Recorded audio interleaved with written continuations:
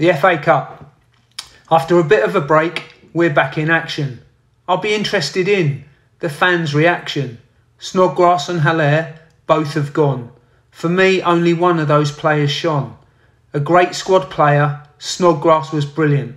Played hard with heart and was resilient. On his way to West Brom, signed by Big Sam. Hope the paperwork's right and it's not a scam. I'm pretty sure he'll do all right and help them in their relegation fight.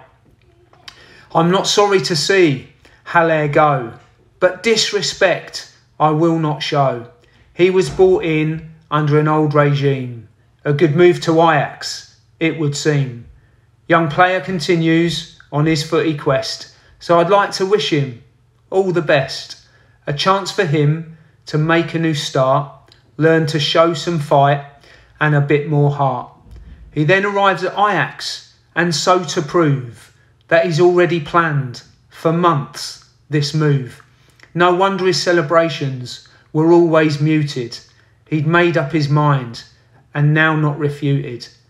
I have been accused of not liking him much, but now it is proven it weren't double Dutch. So it's the FA Cup. It's the third round with a replacement striker to be found. Who's your money on? Who's your bet? Lots of rumours, but nothing yet. It will be interesting to see who we buy to bang in some goals and not be goal shy.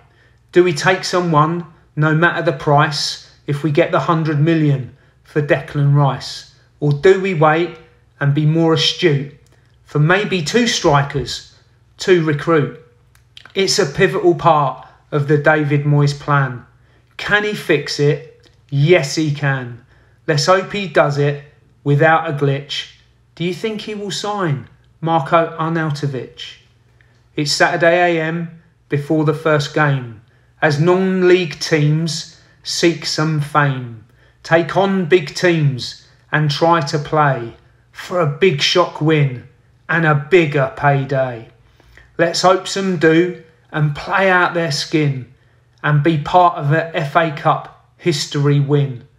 Knock out some teams in the top flight, but not Stockport County on Monday night. We need to win and win with ease. A place in the fourth round is there to seize. Who will Moyes play? Will he give some a rest and give some youngsters an FA Cup test? What about Lanzini? Do you think he will play? After his Covid cock up on Christmas Day, my respect for him is slowly depleting after his Spursy Christmas dinner meeting.